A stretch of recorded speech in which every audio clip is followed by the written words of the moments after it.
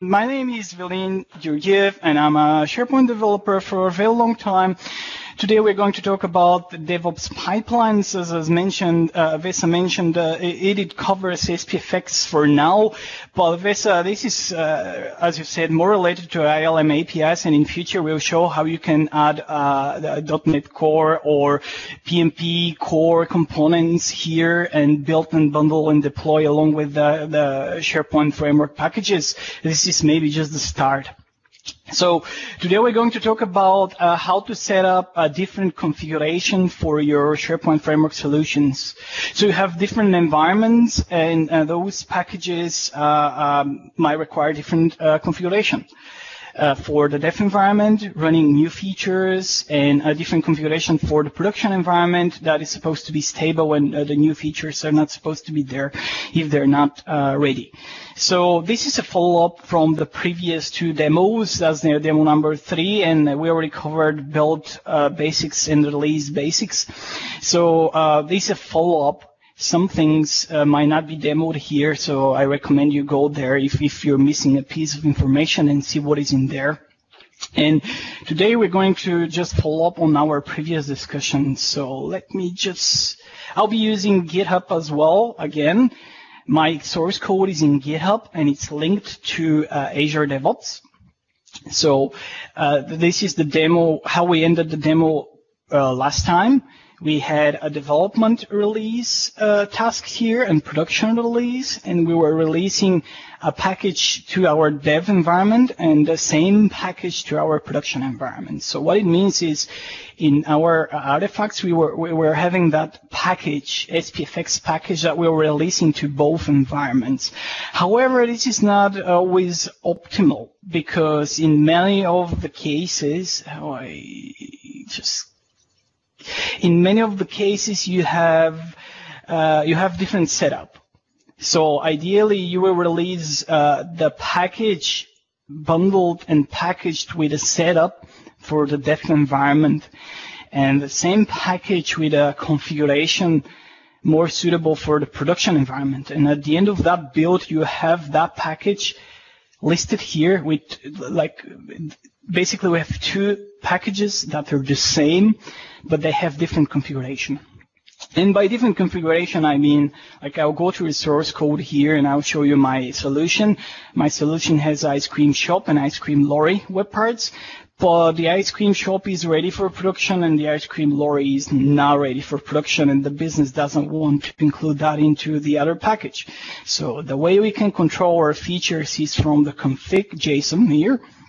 And we have both web parts, but uh, the difference should be like, uh, I don't need that for production. It's not ready. So we have to exclude it. But somehow we have to include it in the production. So how we do that? Another uh, business scenario might be that you have some app settings. For example, my app settings are bundled with the package, and I have different values here that I'm using, that my web parts are using as a shared values. And as I can see, I'm accessing the uh, dev tenant here, but for production, that value should be production so I can hit the production tenant. That might be another scenario. Uh, and how we can change that on the fly, how we can change that with the builds and the releases. So uh, I will just save that and uh, I will show you what we have here. So here we have a DevOps folder. I've created that. That that's not part of the SharePoint scaffolded project. So I've created that folder, and under that folder we have a build where all our build definitions are. We have release, where we have the release scripts, but we also have a folder called configurations. So in that folder, uh, we have a prod folder and we might have QA, staging, whatever environment you have. And, and underneath we have a config. And under the config, we have another config JSON. So you can see that from this folder, I'm trying to replicate whatever is in that root folder. So under config, we have config here, we have config here, we have that JSON there, and we have that JSON there. So the difference here is uh, the, the the dev JSON have both web parts, and that config here has the only only the, the web part that's so supposed to be in production. Then on the other hand, we have a source. And in that source, again, I'm trying to exactly replicate the same folder structure as is here. That's very important later. And in that very same structure, we have source, source, web parts, web parts, and then we have ice cream shop. We have it here. And then down below, we have the manifest. Right, and here we have the manifest, and you can have a different setup on even uh, even on a web part level. You might have that set to true, but when it goes to production, it should be false. In my case, I have a supports full bleed here, and I don't have it here. Probably the, the product owners decided that that web part is not suitable for full bleed, and in the next release we'll go without full bleed. But for now in production, we are full bleed. And then on the app settings again app settings, the same location as in the root folder, app settings, the same, absolutely the same folder structure, but here we have a prod. Um, and we have like um, the assets is different version or whatever. Now, how we put that into our pipeline? We already have those configurations here. But what we are supposed to do, so here is our build here. Our build definition is again the same YAML file from the previous time, but slightly modified. So we have trigger, that's master branch. We have uh, uh, compute here, a virtual machine to run the scripts. We install Node.js on that machine. So uh, we can uh, we can do things with gulp. And then here is the, the, the interesting part here. So what we are doing is we are copying all the files from the source directory. So that, that is a variable that tells uh, Azure, uh, Azure DevOps Pipelines that the source directory in all the files in the source directory should be moved to a staging directory. So basically just move to another folder. But not just to the staging directory, but staging slash dev. So I'll be moving all the files into that dev folder. And after I move all these files, I will say go to that uh, folder, install all the modules, bundle and package the solution, and then zip it and make it available in Azure DevOps. So at the end, we have the dev package there. All we did so far is we've just moved the files, all these files from one folder to another, and we executed uh, the, the, the, usual commands here to package. And this is our dev package, but for the production, then we continue, like we say, copy all the files again from that source directory into another folder that is slash production slash prod. So we move all the files again in that new folder and here is the moment, the simple trick that we're doing to overwrite those files. So what I'm seeing here, uh, like that's the most important part of the demo, maybe. So what I'm doing here is I'm saying go to that folder, that prod folder, grab all these underneath, and move them back to the root folder. So what that will, do is that will just override everything that you have here with everything that is underneath here. So you can control multiple multiple settings like that. You can have even your uh, package JSON that is running old packages here, and then you can override it. And after you override it, you you execute npm install gulp bundle and package, and that should give you your production package. It's very simple but very powerful because it's running under one second, so it's efficient and it gives you different configurations for different environments. Again, at the end, as I've said, we just bundle package and we make that prod available. So I'll do a small change to see how this works because I already have that pipeline prepared, but I'll do a small change in the files for you to see that it's just running.